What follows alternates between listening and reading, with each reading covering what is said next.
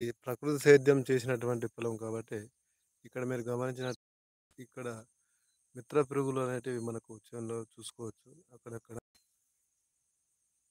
ఇక్కడ చూసినట్టయితే సీతకొక్క సిలుక మనకు అదేవిధంగా ఇక్కడ కొద్దిగా ముందుకెళ్తే మిత్ర పురుగులు అనేటివి మనకు చేనులో గమనించవచ్చు. మనం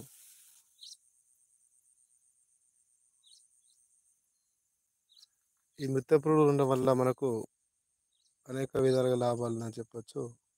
ఇది సేంద్రియ పద్ధతిలోనే సాధ్యం కాబట్టి ఇక్కడ చూసినట్టయితే మనకు గూగే అంటే ఇట్లా మిత్ర పురుగులు మాత్రమే మనకు మారడం జరుగుతుంది. కాబట్టి